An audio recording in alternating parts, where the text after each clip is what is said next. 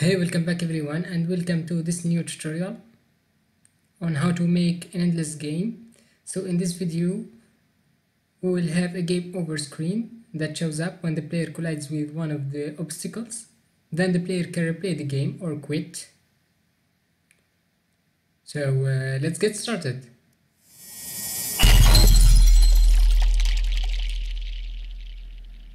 But first I wanted to mention that we have a little bug about our player movements. So when you select the player, you see that we are using the character controller to move the player. But when you go to scripts, player controller, you see that we are using the method controller.move to move the player forward. But on the other hand, we are uh, moving the player between lanes using uh, transform.position equals the target position. And this is going to mess up all the colliders.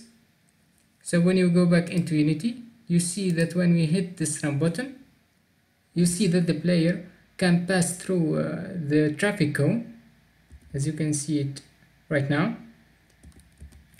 So to fix this we have two solutions. The first one is to uh, try to change the transform.position vector to the target position using the method controller.move and the other one it's a little trick that I found is to try to access the controller center using controller dot center equals controller dot center. And this is going to fix that problem so when we go back into Unity, hit this run button, you see now that the player can collide with this traffic cone.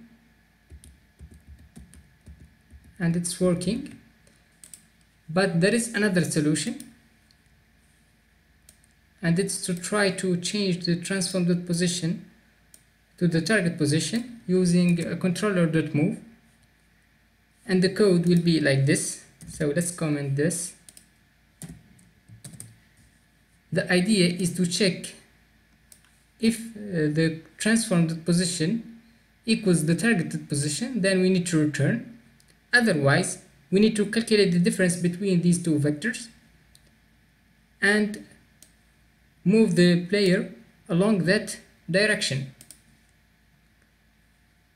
So you can just copy and paste this instead of using this line of code and the problem will be fixed.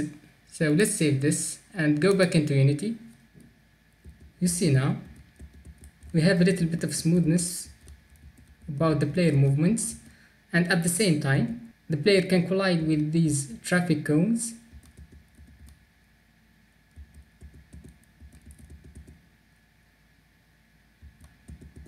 Now let's start making the game over screen so let's start by creating a new panel. In the hierarchy, right click UI and choose a panel. And let's change the background to a black color. Then let's rename this panel to game over panel. Then under this panel, let's create UI and let's choose a button. And I'm gonna change the name of this button to be replay button. So let's change the size over here. And let's also change the color to a blue color. Then under here we have the text. Let's change the text to replay or restart or whatever. And let's change the font size to 25 and the color to white color. You can play around with these settings now let's duplicate this button.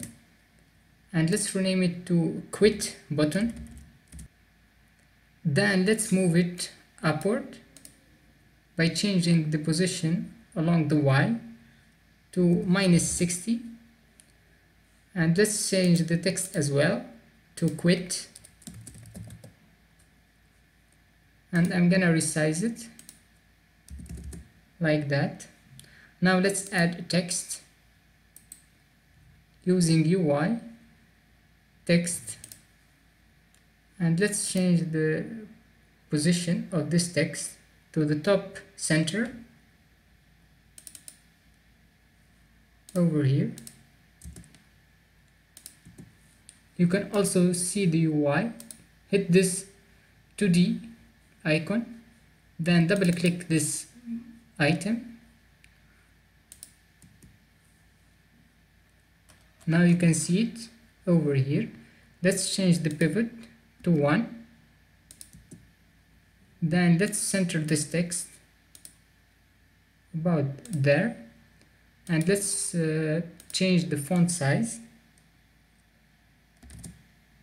And also the height.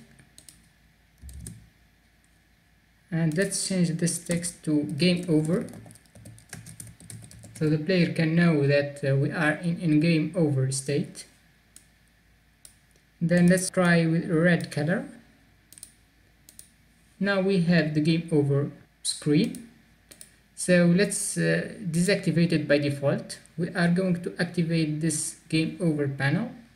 When the player collides with one of the obstacles. And to do that we are going to make a new script that is going to be responsible for the player states and also the score later on. So let's right click create C sharp script and let's call this player manager. So double click it to open it up on Visual Studio. But first we need to attach this script to a game object in our game. So let's create an empty game object and let's rename it to player manager as well. Then drag and drop the player manager script now let's go back and let's start by creating new variables. And the first one will be public static. So static is a global variable that we can access from other scripts. And let's uh, call this game over. And it's going to be a boolean. By default it's going to be false then we need a reference for the game over panel. So let's make public game object and let's call this game over panel as well. Then in the update method we are going to check if the game is over. We are going to stop the game for example putting time the time scale to zero and then we are going to activate the game over panel using game over panel dot set active to true. But we need somehow to change the game over from false to true when the player collides with one of the obstacles. And this is going to be in the player controller script. Then the script is going to stop the game and uh, activate the game over screen. But first we need somehow to tag our obstacles so we can know that the player collides with one of these obstacles and not the road or the, uh, or uh, the coin. And to do that we are going to create a new tag. So over here let's add a new tag and hit this plus icon and let's call this tag obstacle then hit this save. And now we are going to go back into our prefabs folder. And we are going to change the tag of the obstacle to the obstacle tag. So here we have the two traffic cones. So select these traffic cones and change the tag from ntag to obstacle. The same thing for all the tiles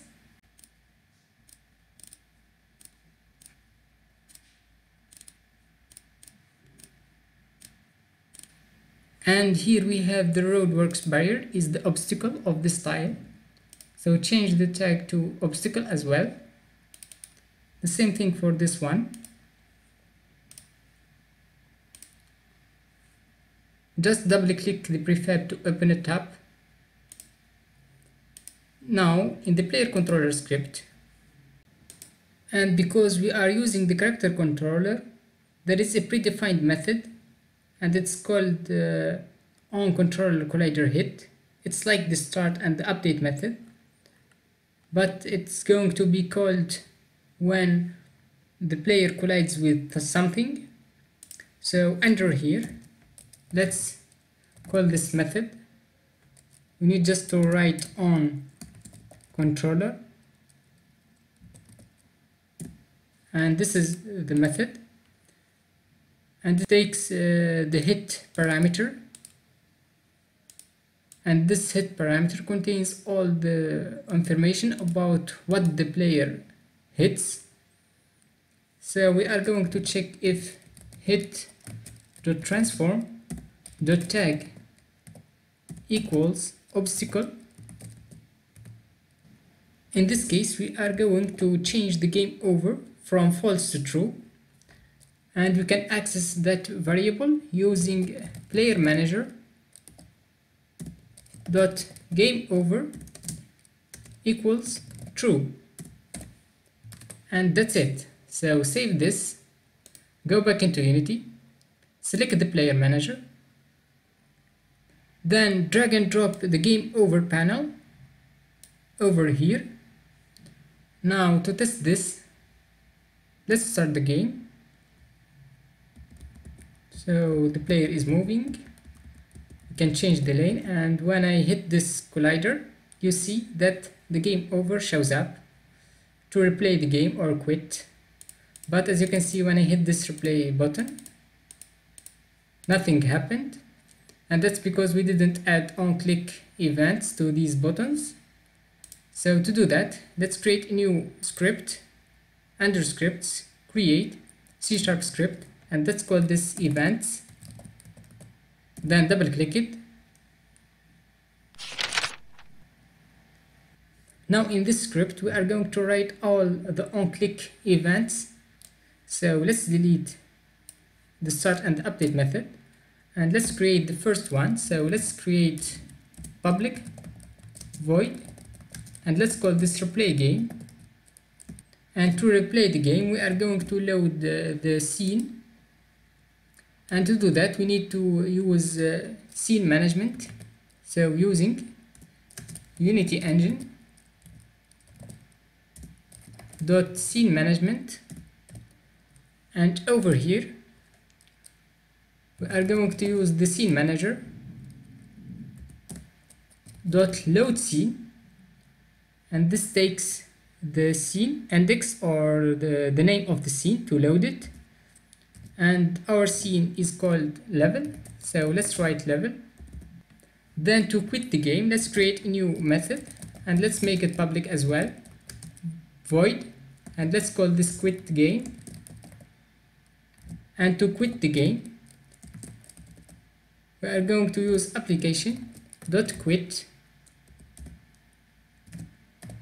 Now let's save this and uh, go back into unity and let's create a new game object. Using right click create empty reset the transform and let's rename this to events. Then drag and drop the event script to this game object. And now to use the methods inside this script we need to select the button for example the replay button under the game over panel. So select this button and under here. We have this on click. So hit this plus icon then drag and drop the events and under here. We have the event script and select replay game. The same thing for the quit button. Select this button to click the plus sign then drag and drop this empty game object and the same thing under events. Select the quit game method. Now let's disable this by default. You see when I hit this run button we can play around.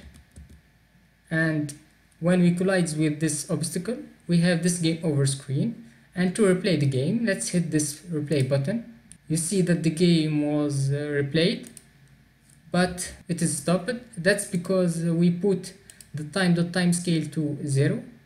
And to fix that we need to make sure that when the level was loaded we need to make sure that the time dot timescale is equal 1 now save this and let's replay the game again.